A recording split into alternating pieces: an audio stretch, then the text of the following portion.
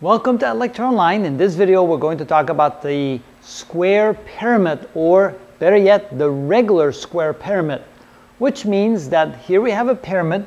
The base of the pyramid is a square, and all four of the slanted sides are equal to one another. So in other words, if the distance from A to D and the distance from D to C, from C to B and from B to A are all the same, and then we have a point the vertex at the very top right here, which is directly situated over the very center of the base, we have a regular square pyramid. Now notice we have some names here. We have the base, the face, the edge, the vertex, and the lateral edge. So what are those on this particular pyramid? Well, the base is the side at the very bottom of the pyramid on which it sits. So it's called the base.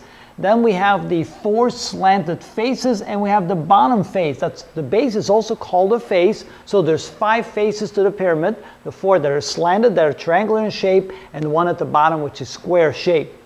Then we have eight edges. Notice that the base has four edges, one, two, three, four, and then each of the, the uh, sides the slanted sides also have an edge on each side. They're shared, and so therefore there's four edges all the way around. So four that are lateral, and then four around the base. That's a total of eight edges to the pyramid. There are five vertices. There's four belonging to the corners making the base, and then there's one right on top, so a total of five vertices. And the lateral edge is the, the edge or the rib which separates these slanted sides. So there's one rib, there's another one, there's a third one, in the back there's a fourth one. So there's, oh, that's the fourth one right here in the back. So there's a total of four ribs, or what they call lateral edges. Now, we have something called the center of the base, and the way to find that is the same way as to find the center of a square. You draw a line from this corner to that corner, a line from this corner to that corner where the two lines cross. That's where you have the center of the base, which should be directed directly beneath the vertex at the top of the pyramid. The slant height is the distance from the side to the vertex at the top, starting from the middle of one of the sides forming the base. So starting in the middle and going along the slide, of the side here, this is called the slant height.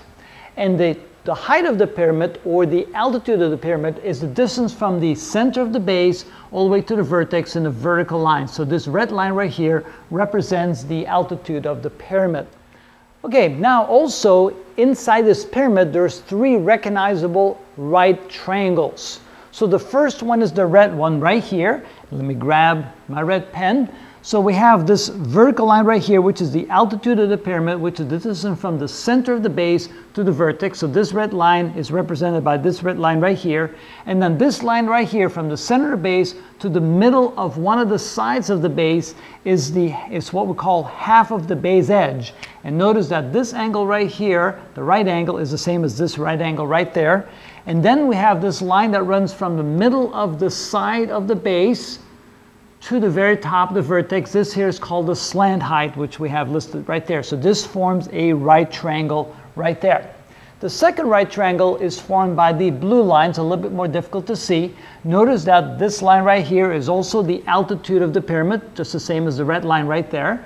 And then we have a line that runs from the center of the base to the edge right here, to the vertex on the corner of the base. So this line right here is half of the base diagonal because remember the line that runs across from corner to corner on the base is half the diagonal is the full diagonal so this is called a half diagonal and this angle right here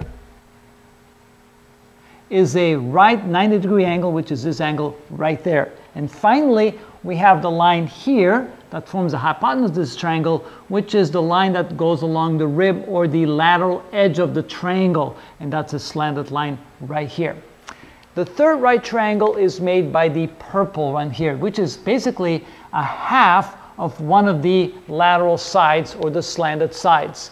So you can see that we have the vertical line right here, which is this vertical line right here, which is called the slant height.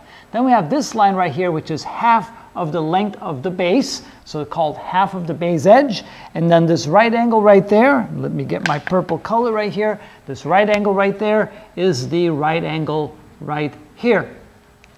And finally, we have this line, which runs along the rib or the lateral edge, which is this line right here, forming the lateral edge. So notice that the regular square pyramid forms a number of right triangles and it's necessary to be able to find each one of those within the figure of the pyramid and that's how it's done.